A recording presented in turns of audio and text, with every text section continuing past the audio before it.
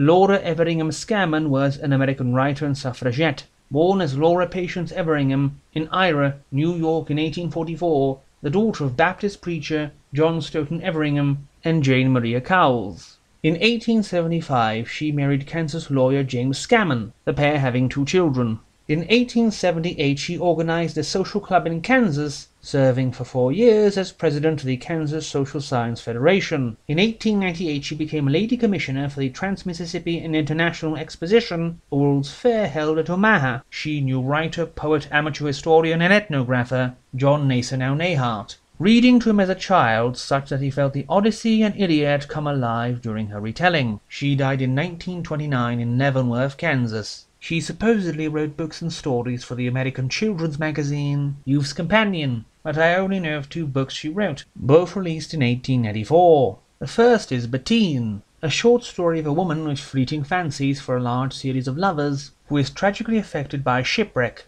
The other is today's subject, the ghost novella Spoon River Dan. The book begins by describing Spoon River, a locality that is, according to the author, so utterly irrelevant only those who live there seem to have any knowledge of its existence. The people living aside the sometimes quiet, sometimes turbulent river are described as stolid, strong, and dull of intellect. We then have the title character described to us in these illustrious terms. Dan, like his brethren, was ignorant, drunken, and profane. Yet he has certain abilities as a healer, such as healing by laying on his two-fingered deformed hand, or via a certain mental process known only to himself. People come twenty miles or more to use his services, especially his ability to simply pluck out an aching tooth without pain or blood spilling. The book begins in fact with Dan in a drunken reverie, abusing his horses as he drives his wagon. But he has to pass a very rough, dangerous pass, where any failure would launch his wagon over the side to a swift accelerated rolling doom. When he somehow gets home, his wife berating him for being drunk,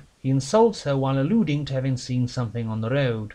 This, he says, was a ghost dog, but he was too frightened to investigate it more thoroughly. The dog itself had been seen by everyone else in the vicinity, even pursuing and pardon the pun hounding a young lad who went a courting. Now Dan gets to work to try and find out what the dog actually is, with all Spoon River demanding him do so, since they consider his unpaid miracle working makes him deserve the dubious honor. He is still skeptical, however, and assumes that it's a case of a rejected suitor avenging himself in some fashion. He suspects Ab Stewers, whom Polly Brown laughed at when he took a trip and hung himself from his clothes via a hook, and had to be pulled down from the roof. He gets a hound and goes about hunting for the fake ghost, but has no success, taking out his anger on his family and anyone who gets in his way. What is worse, he gets so overwhelmed by more and more patients that he no longer has time for proper food or sleep, and still does this for no reward at all. And of course he drinks more than ever in consequence. One night during a sudden snowstorm, Dan is driving his wagon drunk and freezing. Then he sees it, the ghost dog, staring at him through the snow.